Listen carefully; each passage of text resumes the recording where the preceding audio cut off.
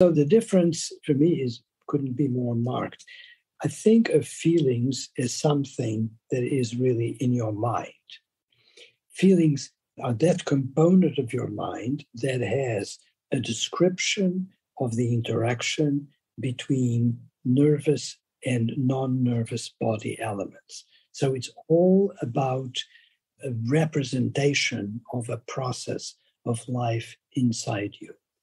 The vast collection or the primary collection of feelings are the feelings that have to do with our homeostatic regulation.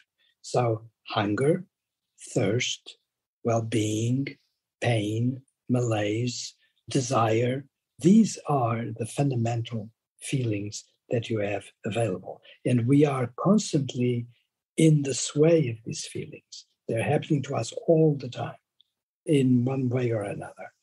Emotions, on the other hand, and I don't think it could be any more different, are about actions. And I think even the word betrays that. The root of the word emotion is about motion directed to the outside.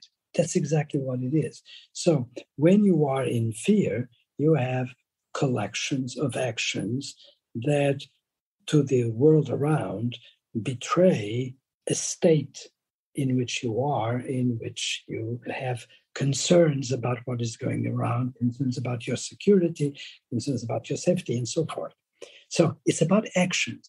When you are joyful, you laugh out loud, you have a body composition in terms of the actions, that in terms of the attributes of your body, that are all action related. And they couldn't be more different from the actions that you have if you are depressed.